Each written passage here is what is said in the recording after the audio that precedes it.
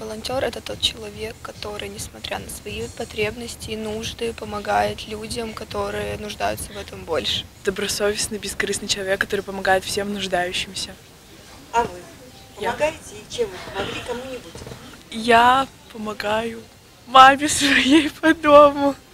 Я считаю, что мама – это человек, которому надо помогать всегда. Это тот, кто несет добро другим людям, э, счастье, радость и очень хороший человек, А вы хороший человек? конечно. Это тот человек, который хочет дарить людям только добро, любовь, радость, э, который заботится о других людях. Открытые, откровенные, искренние, добрые ребята. Ведь не зря именно они, волонтеры отрядов «Доброе сердце» и таковых, которые приходят к людям, чтобы помочь, поддержать словом и делом на Брещине более трех тысяч.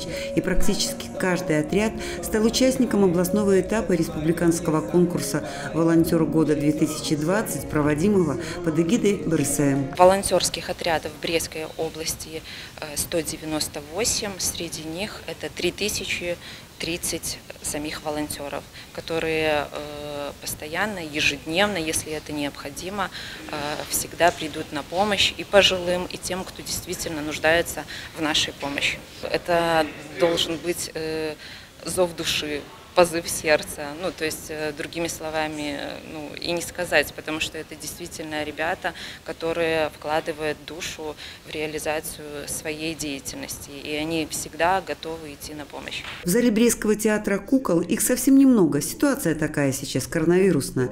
Но настроение, конечно, оптимистично, бодрое и праздничное. Это неудивительно, ведь они победители. В пяти номинациях. Лучший волонтерский отряд, лучший командир волонтерского отряда и другие. Для каждого из них представлять свой регион – это честь. Представлять свой отряд – большая ответственность, потому что добровольцев в одиночку не бывает. Работают они командой. А потому и говорят «не я, а мы». Мы ходили на очистку озера. Э, Тогда мы произвели достаточно большую работу. Э, Было интересно и, ну, действительно, это было полезно для природы. Очень много всего произошло, и выделить что-то одно невозможно, потому что э, ты участвуешь везде и не можешь запомнить именно какой-то определенный день и одни свои эмоции. Ты запоминаешь полностью весь год, и прошлый год, и этот год, они у меня как-то одинаково идут, потому что я везде активно участвую. Мы ходили э, в дом там, где ну, люди не совсем обычного типа, там, Особенные. да, особенно некоторые заболевания. Вот в тот момент я почувствовал, что это действительно нужно, потому что видеть на их лицах улыбки, радость, это было нечто. Это сердце сразу дрогнуло. Работа у волонтеров многоплановая. Участие в эко-акции, помощь одиноким людям, тимуровская деятельность. Вообще, там, где нужна поддержка, ее оказывают ребята-добровольцы. Но в 2020-м на первое место вышла работа по противодействию распространению коронавирусной инфекции. В зоне риска – ветераны, пожилые люди, а в зоне ответственности за них – волонтеры. Вся весна для Арины Бурдо была напряженной. Она участник отряда антиковид Брестского технического университета. Вместе с командой сокурсников. Они помогали, поддерживали бабушек и дедушек, и помимо выполнения своей миссии, находили и позитив в ней. Я заметила просто, что ну, пенсионерам, пожилым людям очень сложно ходить за продуктами в такую обстановку. Просто я решила помочь. Я узнала, что в нашем универе есть такое. Мне девочка рассказывала, которая ПРСМ-секретарь Анна Прошина. Она рассказала, что у нас сейчас вот, ну, будет по- появляется специальный отряд анти-COVID-19, и я решила принять участие. Мне так понравилось, я вот начала вообще на все вызовы ходить, то есть мне очень понравилось. Нравится, вы знаете, когда приходишь в квартиру помогать, помогать бабушкам, и вот уходишь, и вот у них такие просто вот счастливые лица, и, ну, улыбки вот эти искренние. Они всегда пытаются что-то предложить, и говорят, а вы это, это бесплатно делать, да, я не верю, что есть такие люди. И они вот постоянно что-то, деньги пытаются предложить, там, конфеты, то есть, ну, ну, мы не, не берем, уже бывает даже насильно нам пихают, ну, как бы, я не знаю.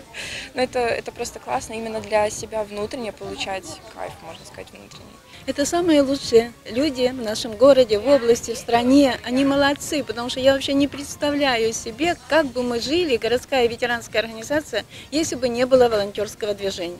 Вот надо помыть окна Константину Максимовичу Кругликову. Кому обращаешься? К волонтерам. Надо вскопать грядочку, покрасить забор, все это волонтеры.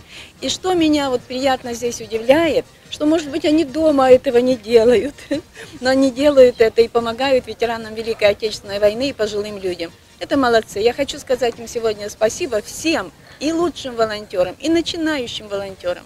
И думаю создать у нас в городской ветеранской организации волонтерское движение.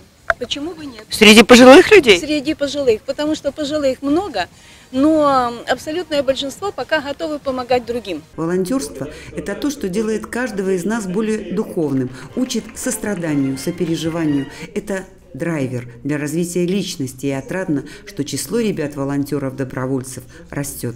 Волонтерское движение, которое реализует наш Белорусский республиканский союз молодежи, действительно доброе, но настоящее и честное. Все участники это добрые дети, добрые взрослые, которые всегда готовы подставить плечо.